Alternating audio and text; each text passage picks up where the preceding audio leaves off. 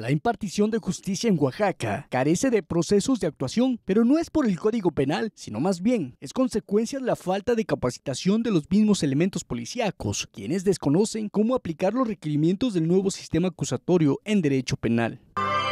Sí, miren, el, el sistema acusatorio en materia penal está regido por un código nacional, que es el Código Nacional de Procedimientos Penales, que es un código que rige en toda la República. Pero el problema no está en el código.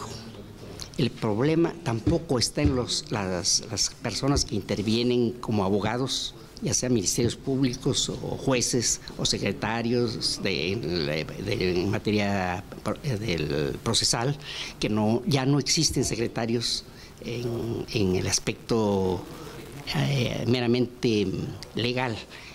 Eh, lo que pasa es que ya el, el nuevo sistema acusatorio es directamente el juez el que recibe las pruebas, el que, el que eh, conoce a los testigos, conoce a las partes, directamente es, en forma personal. El juez preside todas las audiencias, por lo tanto ya no hay secretarios, pero sí tiene un equipo que, que lo auxilia. Entonces el problema no está ahí, el problema está en la parte de investigación.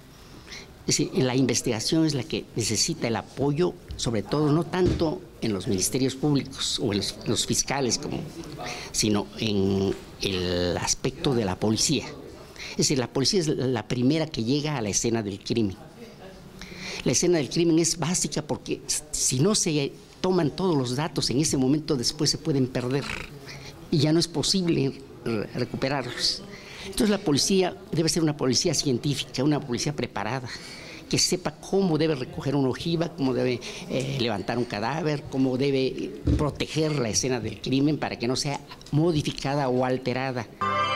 Lo anterior lo afirmó Roberto Euro García Pérez, doctor en Derecho Penal e integrante del Colegio Oaxaqueño de Doctores en Derecho, quien explicó que si en Oaxaca los encargados de impartir justicia, como es la Fiscalía General del Estado, capacitaran a sus elementos para levantar una buena investigación, los procesos no estarían viciados para aplicar una justicia pronta y expedita como se llama ahora la Fiscalía General del Estado.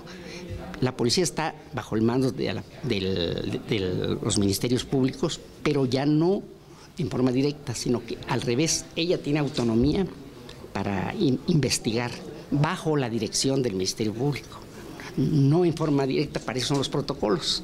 Tienen que ceñirse a los protocolos. Y si no conocen los protocolos o no tienen los elementos materiales para cumplirlos, pues la investigación va a ser defectuosa, deficiente.